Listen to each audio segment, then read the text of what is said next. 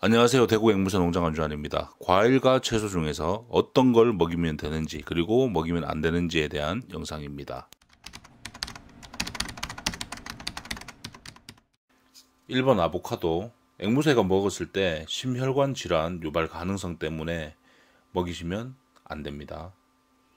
일부 개체는 먹어도 된다고 하지만 논란이 있으니까 조심하세요. 2번 복숭아 털복숭아 알러지 때문에 먹이지 말라고들 얘기하는데 요즘은 뭐 썬프레 같이 천도복숭아 종류들은 털이 없기 때문에 먹어도 괜찮습니다. 아주 잘 먹습니다. 3번 우유하고 치즈 유제품을 소화를 잘 못하기 때문에 직접 다량 먹이지 않는 게 좋습니다. 4번 커피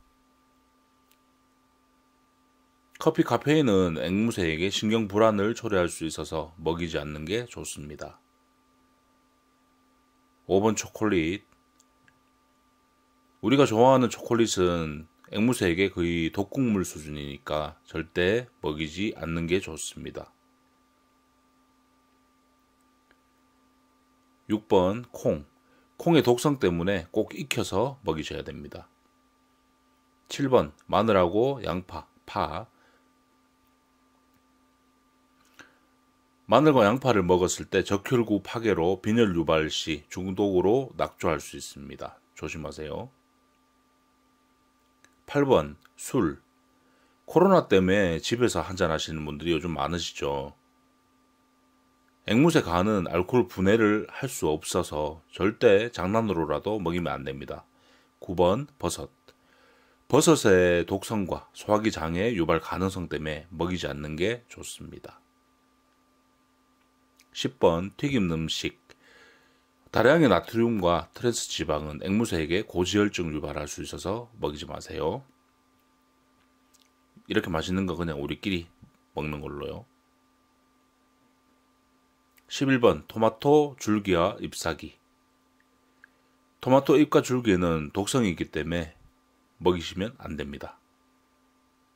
12번 사과씨 사과 씨앗에는 독성 물질이 있기 때문에 씨는 꼭 제거를 하고 먹이셔야 됩니다. 수박 씨하고 포도 씨는 먹어도 괜찮습니다. 13번 꿀 금기식품에 꿀이 있는데 저 같은 경우는 꿀을 주기적으로 먹입니다. 단연간 먹였지만 문제되지 않습니다.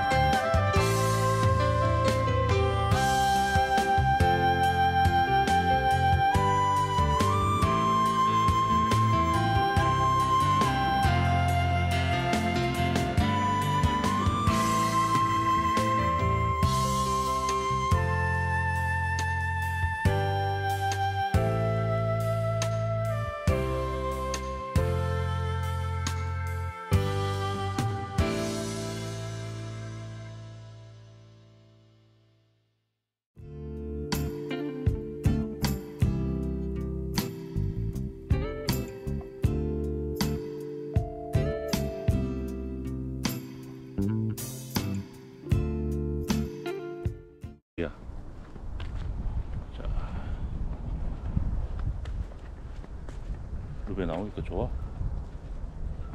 어땠어?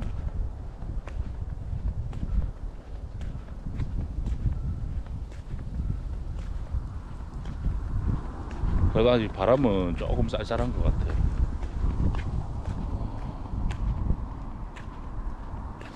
확실히 날씨 추워서 그런가 주말인데 저수지 낚시하는 사람들은 없네요.